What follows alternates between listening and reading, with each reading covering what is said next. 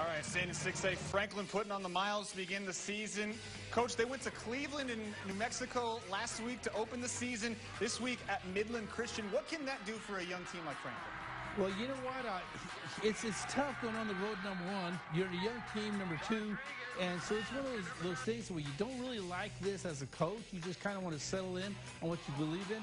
So uh, it is tough on the team. There's there's no question about it. Certainly tough there. Midland Christian 51 to 20 over Franklin in the Permian Basin tonight.